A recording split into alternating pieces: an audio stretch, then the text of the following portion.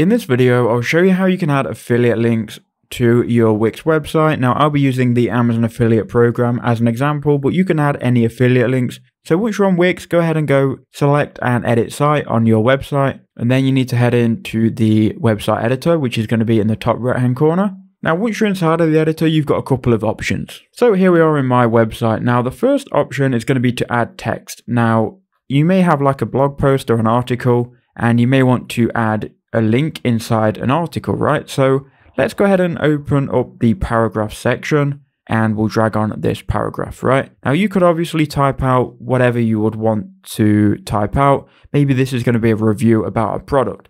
Let's just pretend this is a big paragraph reviewing a product. Now, the first way is to go ahead and link it inside of an article. So if you're writing an article, uh, you may want to say or mention the product name and you can link from that product name. So let's go to Amazon and let's find a product. Let's just recommend this SD card here. So on Amazon, I can grab my affiliate link using SiteStripe. So if I go to text, we can then grab the text link. So we're going to go ahead and copy this affiliate link. Then if someone was to click on this and buy, we would earn a commission on this product. So to add our link in a block of text, we can go ahead and highlight the text. We'll highlight this text here. You can then go to link and you can then link to a web address and I'm going to paste in the affiliate link here. We can then click done and it will then add a link and that could be a link to any product. Now the second way is to link the image. So if you have an image of yourself using the product, you might want to add that. So go to add elements.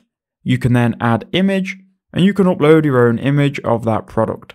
I'm going to click upload images and we'll see what we're working with here. So you can upload from computer I don't have an image of a product. I'm just going to upload a random image, but you would obviously grab an image of a product. This is going to be an image of the beach, which we are going to click on once it's uploaded, then click add to page. Now, once you've got your image, obviously you would resize it and you would move it in a relevant place in your article. Now, the same process applies. You copy your link from Amazon. You can click on your image. You can then go ahead and click link, click web address and paste in your affiliate link. I would make it so it opens in a new window.